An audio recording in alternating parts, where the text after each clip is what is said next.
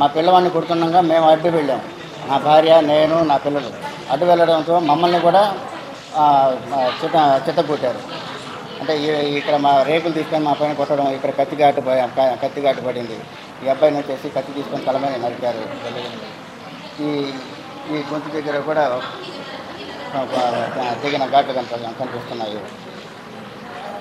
ఈ విధంగా చేసి ఇంకొక అబ్బాయిని కూడా కొట్టారు. మా భార్య మీద కూడా రెండు కత్తులు తీసుకొని ఇద్దరు మనుషులు మా ఆమె ఆమెను ఇది చేయడం జరిగింది.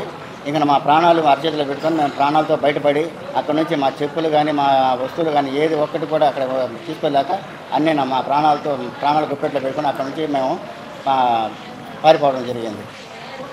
తీరా ఆరాధిస్తే ఇక్కడ ఇవన్నీ చేపించేది ప్రతిపక్షం వాళ్ళని చెప్పేసి టీడీపీ వర్గం వాళ్ళు చేపిస్తున్నారని చెప్పేసి మాకు విశ్వసనీయ సమాచారం వచ్చింది. అందువల్ల నేను ధైర్యంగా ఈ మాట మీకు చెప్పదా చెప్పదలుచుకున్నాను మీడియా ముందు సమగ్రంగా. మేము అనేది ఒకరికి తెలియదు మేము ఏడున్నాం అనేది. మేము ఈ మధ్య ఏంటంటే మా వారు రాజకీయంగా జగనన్నని గెలిపించుకోవాలి ఆదాల మనకు రావాలి అని చెప్పి ఆయన గట్టిగా ఆ పార్టీలో నవాబ్ జాన్ తరఫున తిరగడం జరుగుతూ ఉంది సార్. ఆ కక్షతో అదే నా బిడ్డల ప్రాణాలు కానీ ఈరోజు పోయి ఉంటే సార్ కొట్టారు. తల కూడా ఒక అబ్బాయి ప- తల బాగా నుంచి ఈడకి గీక్కుపోయింది సార్. కత్తితో కొట్టారు.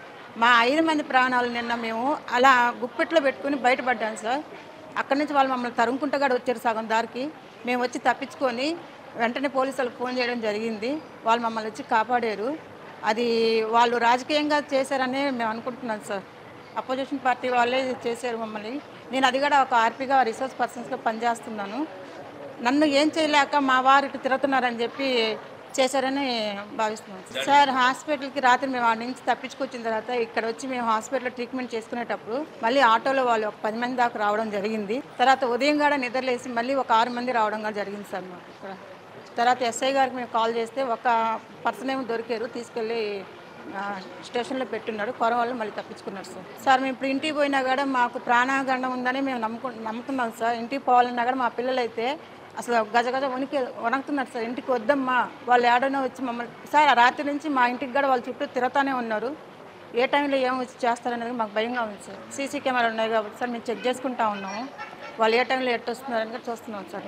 వైసీ అభిమానం అంతే సార్. మేము ఉండేది జగన్మోహన్ రెడ్డి వైసీపీ కాబట్టి చేశాం సార్ అంతే. మేము వైసీపీగా చేసామంటే శ్రీధర్ అన్నప్పుడు ఆ వైసీపీలో ఉన్నారు కాబట్టి మేము చేశాం సార్. నా పేరు కరిముని సార్. సార్ నేను ట్వంటీ ఫైవ్ డివిజన్ భుజభుజ నెల్లూరులో ఉంటున్నాము. ఇరవై ఇరవై రెండు సంవత్సరాల నుంచి మేము భుజభుజ నెల్లూరులోనే ఉంటున్నాం సార్